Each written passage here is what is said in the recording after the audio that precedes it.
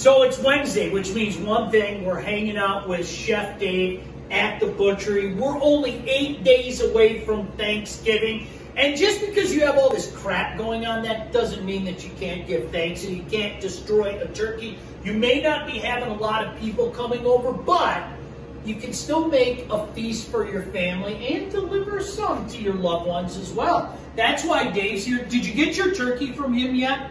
And he, you were telling me something interesting, okay? Normally, Dave, you were telling me, I'll let you explain this.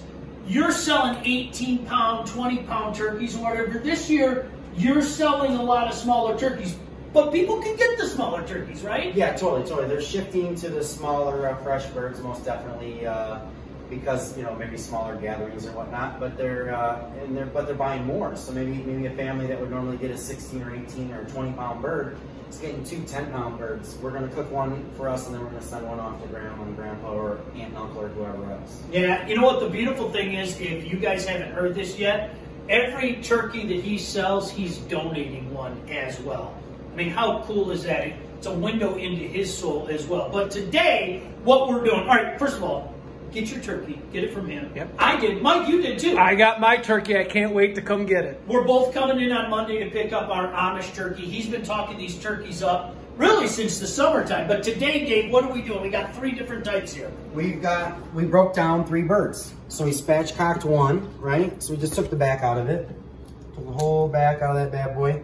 Split the breast a little bit so you can roast that much more evenly and get, or smoke it, get a lot more uh, even cooker flavor on that. And you said it would take a little bit quicker time too, right? Yeah, It'd be you're, faster. You're gonna, you're gonna cut. You're probably gonna cut about a third of your time out of there. Uh, uh, your What do you time. recommend? Because that, that I'm getting that exact same turkey.